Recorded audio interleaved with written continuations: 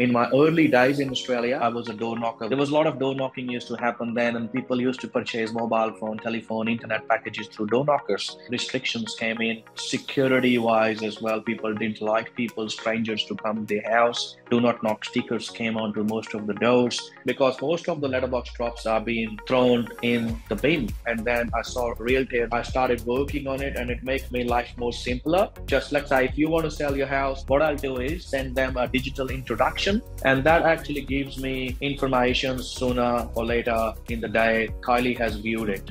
So I know that. And as Kylie viewed it, I called up or I sent a text message to Kylie, looking forward to see you. And Kylie will send me a thumbs up. It gives you a bit of advantage than your competition that obviously you're giving that information before you actually been there.